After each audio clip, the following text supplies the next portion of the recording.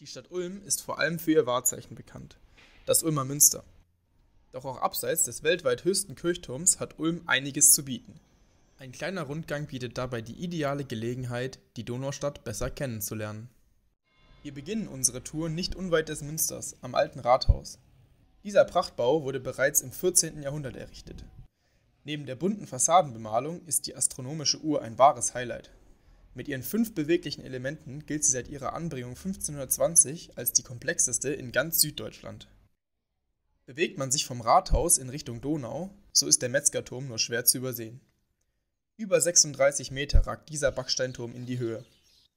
Er wurde 1340 als Teil der Stadtbefestigung erbaut. Das Alter merkt man dem Metzgerturm vor allem an seiner beträchtlichen Neigung von 3,3 Grad an. Direkt hinter dem Turm führen uns Treppen auf die historische Stadtmauer. Heute bietet sie mit einer Länge von circa einem Kilometer einen idealen Pfad, um die Stadt zu erkunden.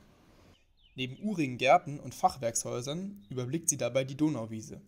Die lädt bei gutem Wetter zum Verweilen ein und ist einer der Haupttreffpunkte der jungen Ulmer. Weg vom Trubel der Donauwiese folgen wir der Stadtmauer westlich bis ins Fischerviertel.